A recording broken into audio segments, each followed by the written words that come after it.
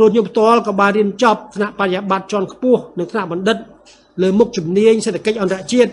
ពីវិទ្យាស្ថានអន្តរជាតិទីក្រុងមូស្គូដែលជាសាកលវិទ្យាល័យឈានមុខនៅអឺរ៉ុបខាងកើតដែលបង្រៀនភាសាបរទេសសរុបចំនួន54រួមទាំងភាសាខ្មែរថៃនិងវៀតណាមផងដែរហើយដែលជាប់ក្នុងសិភៅឯកតកម្មពិភពលោក Guinness ផងដែរក្នុងនាមជាអ្នកឯកទេសសេដ្ឋកិច្ចអន្តរជាតិខ្ញុំទៅរៀនភាសាចំនួន3 គឺភាសារុស្ស៊ីដែលជាភាសាប្រើប្រាស់នៅក្នុងការសិក្សា និងភាសាបរទេសពីរថែមទៀតគឺភាសាអង់គ្លេសនិងភាសាបារាំងហើយនៅពេលបច្ចុប្បន្ននេះបាទខ្ញុំចេះទាំងអស់ភាសាចំនួន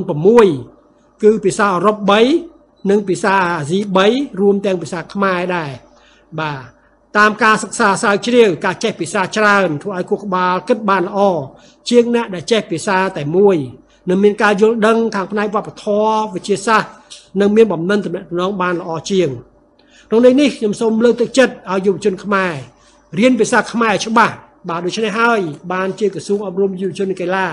ដាក់ចេញជាកម្មវិធីអំណានដំបងរណទី1ទី2ទី3និងគណិតដំបងដើម្បីឲ្យចេះភាសាខ្មែរច្បាស់មានមូលដ្ឋានគ្រឹះឲ្យបានច្បាស់ចាប់ពីថ្នាក់ទី4ឡើងទៅ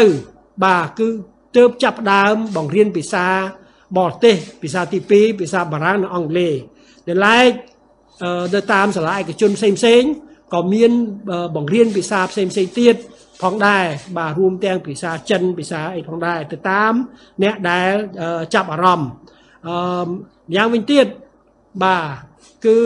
ការរៀនភាសាបាទអឺមានន័យថាក្នុងការរៀនអឺភាសាបរទេស នៅក្នុងកម្មវិធីសិក្សារបស់យើងមានតែពីរភាសាទេ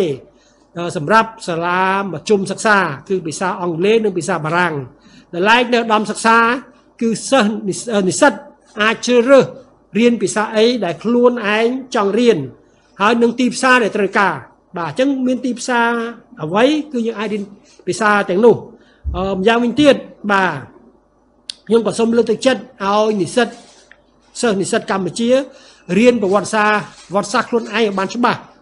ក៏ប៉ុន្តែនៅក្នុងបរិការអាស៊ានក៏ត្រូវតែយល់ដឹងពីប្រទេសជិតខាងនៅក្នុងអាស៊ានដែរ